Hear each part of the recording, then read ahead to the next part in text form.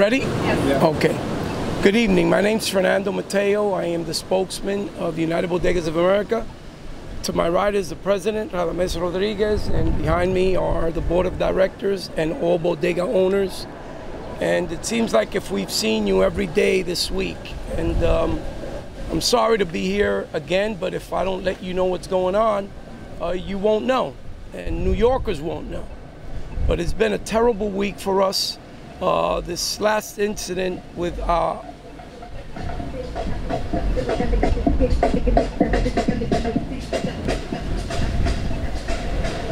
with Oralia. Oralia is a, a Mexican immigrant uh, that has been here 20 years, has worked in bodegas for the last seven years, and has worked for the same owners for about seven years in different locations. She moved to this location because she thought it was a safer haven, a safer place to work. And unfortunately, that wasn't the case. She's been there four months, and last Monday, she sold a $30 hookah to a couple. The couple came back on Thursday at 5 in the morning to return the hookah that was used, abused, and everything else. So the clerk at 5 a.m. told them that uh, they would have to come back because the owner wasn't there. Uh, so they took a sledgehammer and broke all their glasses, all their windows inside the bodega, and created chaos. The owners, afraid of reporting the incident, let it go. Guy, the couple came back again on Saturday uh, when Aurelia, who sold them the hookah last a Monday ago, was working. And they said they wanted their money back, their $30 back. And she explained to them that she couldn't give it back because of the condition that the merchandise was in.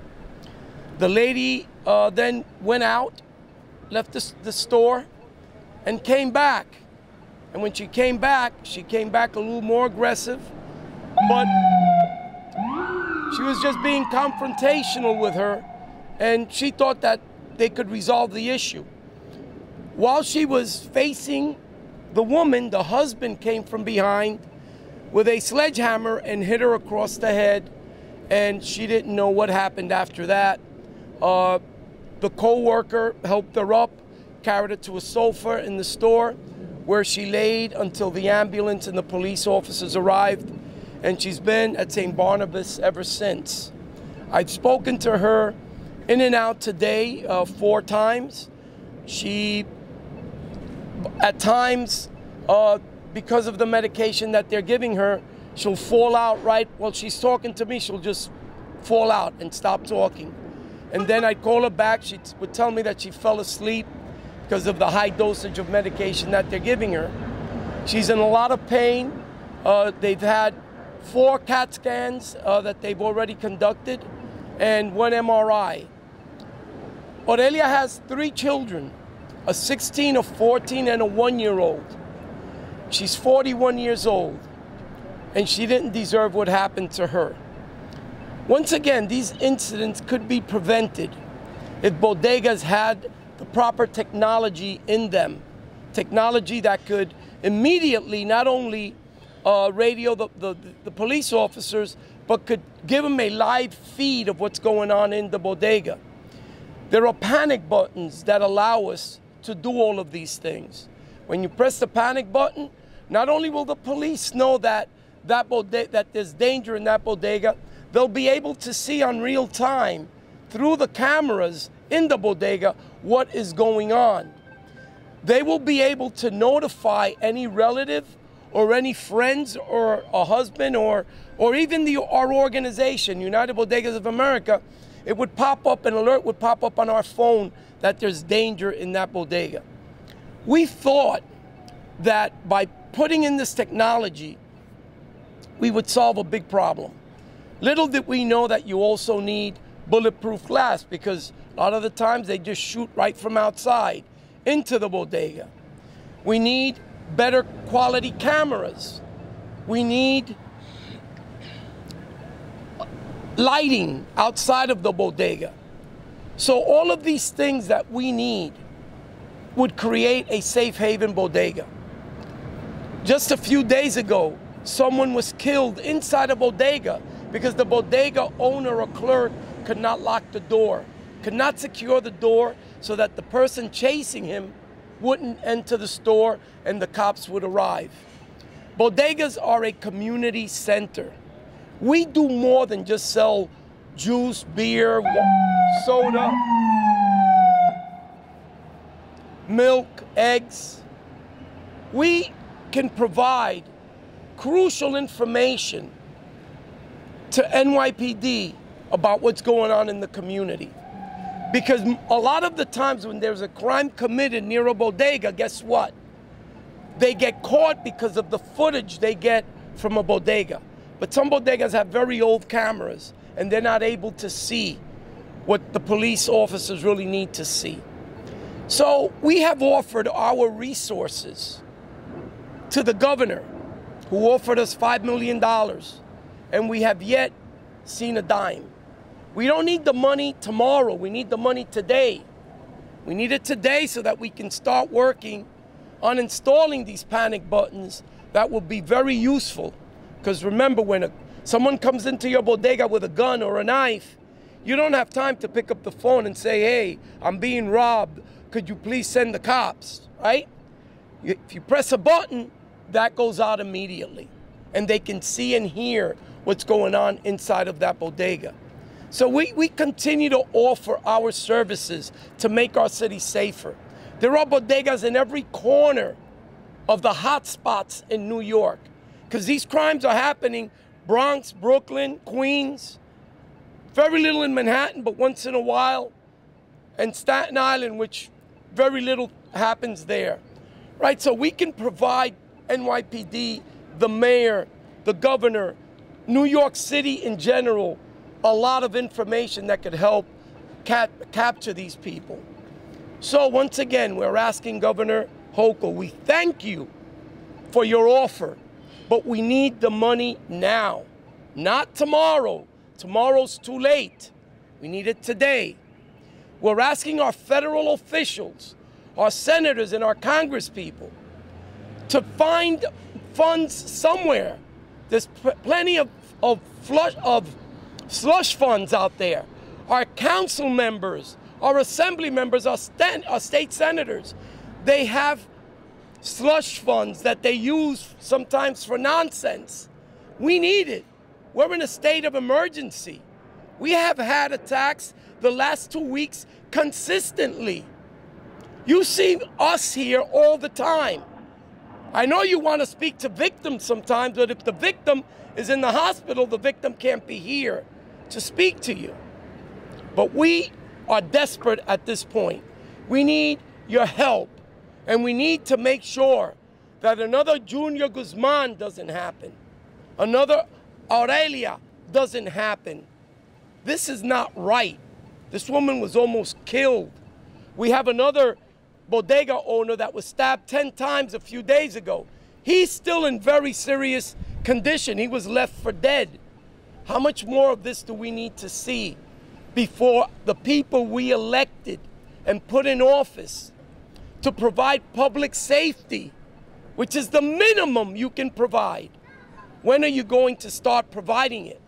That's what we're asking. We are tax paying businesses. We are employers. We are good neighbors. We are good citizens. And we're being killed and we're being stabbed. So we need your help. Nosotros estamos aquí hoy porque Aurelia, una mexicana que tiene 20 años en este país.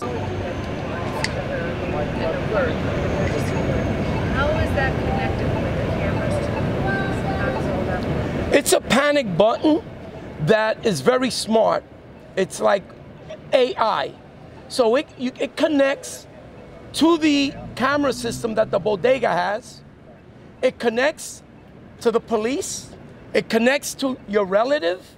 Whomever you want to get a notice when you press that button, it could be your next door neighbor. Because guess what? If you allow your next door neighbor to know when you're being robbed or killed or, or assaulted, that neighbor could probably do something outside to prevent these people from leaving or follow them. How much is it? How many bodegas have this There are 30,000 bodegas. None of them have it. Uh, we have been looking into it. In fact, we, we have been meeting with several of these tech companies, and um, we're desperate right now, and we don't know what to do, but we know that this technology exists because NYPD uses it. And we know the technology, and we know it could help us, and we know it could reduce crime. It's not in the bodegas yet. We, we can't afford it. They, they cost like two to three thousand dollars per unit, and it all depends on how many units you order at a time.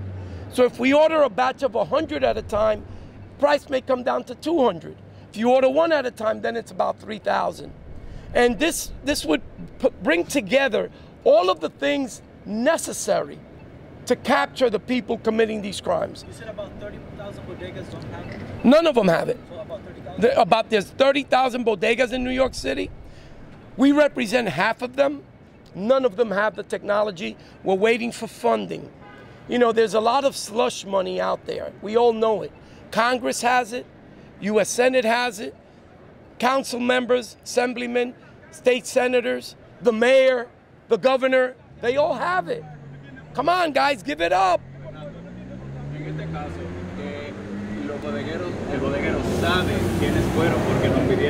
Que nos fuéramos de ahí. Estábamos en la bodega y le pidieron a la prensa que se fueran porque ellos tenían temor de que regresaran. En este caso que saben, y supuestamente la policía sabe quiénes son, no necesitan esta tecnología hoy porque ya tienen identificada a esta persona. ¿Cuál es el caso entonces? El caso es sencillo. Si tú puedes coger a alguien en, en el, en el momento, es muy diferente de tú salirlo a buscar. El tipo que puñaleó y toda esa gente duran un mes, dos meses, tres meses en la calle antes de que lo cojan, porque se van del Estado. Si uno le avisa cuando están ahí, ellos se pueden movilizar más rápido y capturar a esta gente en el momento, no después. Ese es el motivo. Sabemos quién es, pero todavía están en la calle. Y a lo mejor esta noche salen y matan a alguien.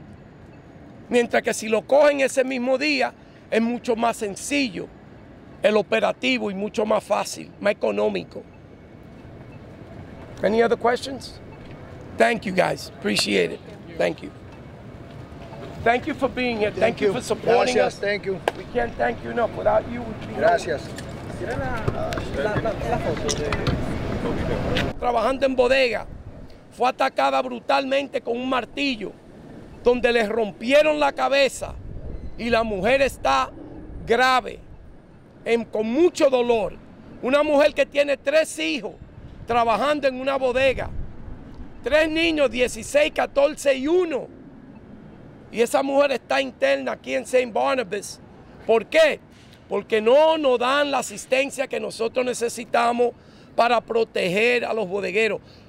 Toda esta semana ustedes han estado con nosotros haciendo una conferencia de prensa detrás de la otra, detrás de la otra.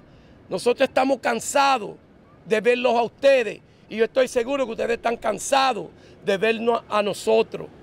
Nosotros queremos que se encuentre una solución. La gobernadora estamos muy agradecidos que ofreció 5 millones de dólares, pero ¿dónde están? No lo necesitamos mañana, mañana es- muy tarde, lo necesitamos hoy. Gobernadora, necesitamos ese dinero hoy. A los legisladores federales, los senadores, los congresistas, los concejales, los asambleístas, los senadores estatales, le pedimos que por favor encuentren fondos para que nos ayuden. Ayuden a estos hombres, estas mujeres que trabajan en bodega para que el crimen, la criminalidad baje. Porque ya no podemos más. Ya estamos cansados de esta violencia. Una bodega no es solamente un lugar donde tú entras a comprar leche y huevo y jugo y soda. Es un lugar que es un centro comunitario. Un centro donde la gente va a relacionarse y a buscar ayuda cuando están en peligro. Pero nosotros, ¿qué tenemos? Nada para ayudar a esa persona. La semana pasada apuñalearon uno que entró a una bodega buscando auxilio. Lo mataron en- ahí mismo enfrente del bodeguero. Y el bodeguero no pudo hacer absolutamente nada. Porque no tiene ni siquiera un botón de pánico que le pueda dar, que pueda avisarle a su familiar y a la policía, a quien sea. Estos son cosas sencillas. Cuando hay problemas en nuestra comunidad, las bodegas son las que le resuelven a los policías y a las autoridades y a los fiscales y a los jueces, dándole video para que ellos puedan identificar quién cometió el crimen. Nosotros estamos pidiendo ayuda, que se nos den fondos para asegurar y poner bodegas seguras en esta ciudad. Y por ese motivo nosotros estamos pidiéndole a ustedes, los legisladores, todos, que nos ayuden. Nosotros somos bodegueros, necesitamos ayuda y ustedes pueden darnos la ayuda y no lo han hecho. Por favor, no queremos venir aquí mañana ni pasado con otro drama, con otro dilema que haya sucedido.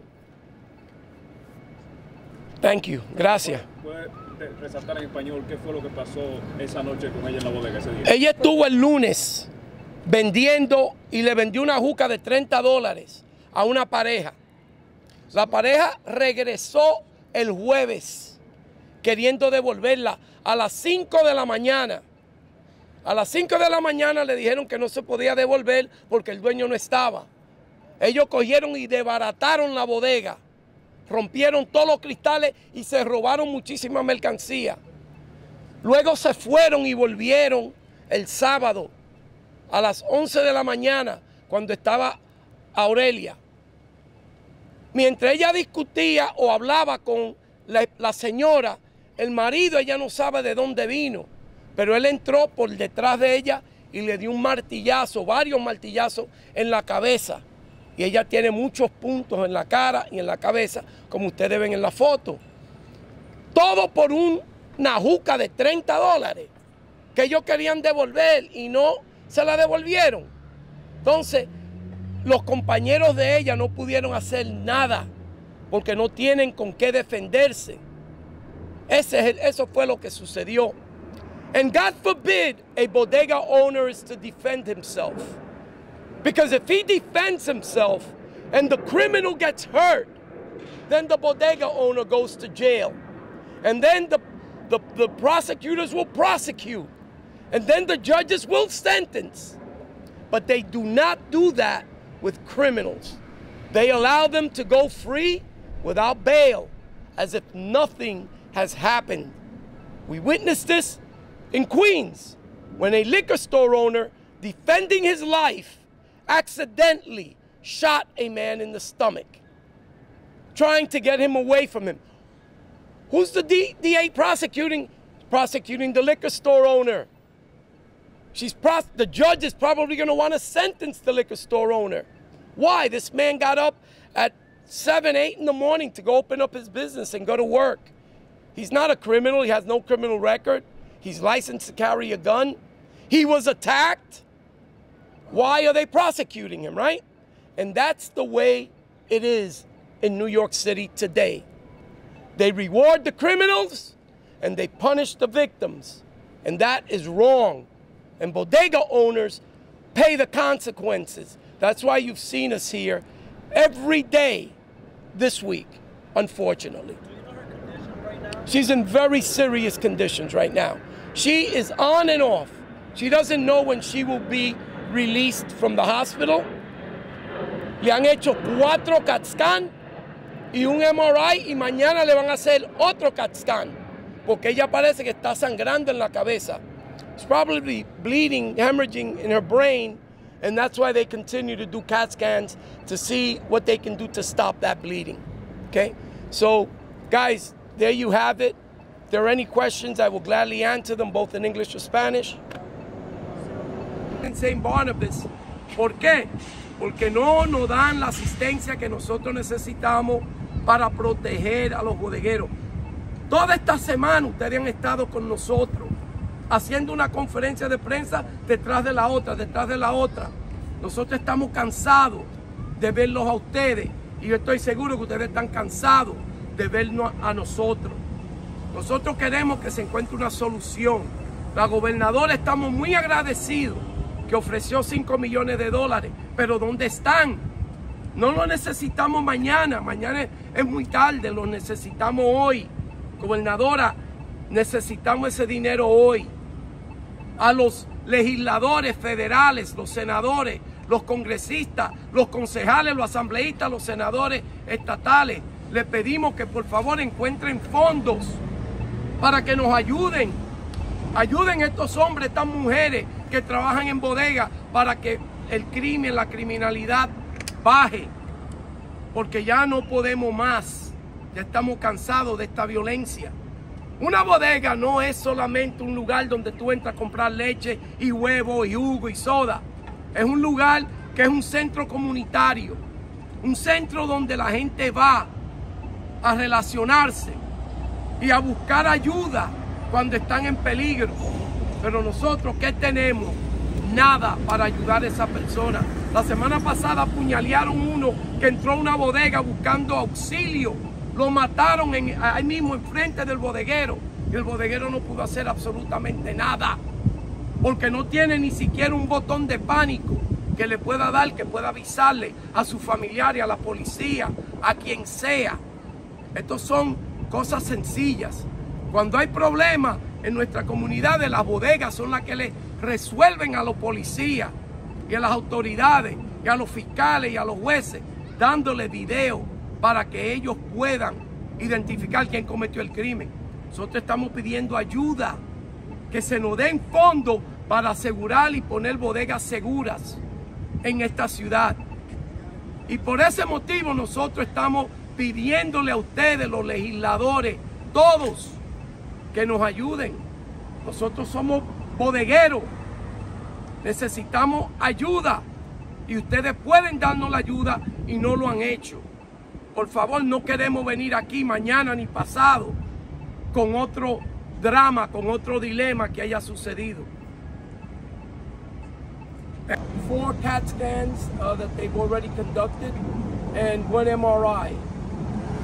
Aurelia has three children, a 16, a 14, and a one-year-old.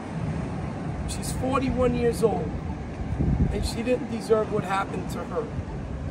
Once again, these incidents could be prevented if bodegas had proper technology in them. Technology that could immediately not only uh, radio the, the, the police officers, but could give them a live feed of what's going on in the bodega. There are panic buttons that allow us to do all of these things. When you press the panic button, not only will the police know that that, that there's danger in that bodega, they'll be able to see on real time through the cameras in the bodega what is going on. They will be able to notify any relative or any friends or a husband or,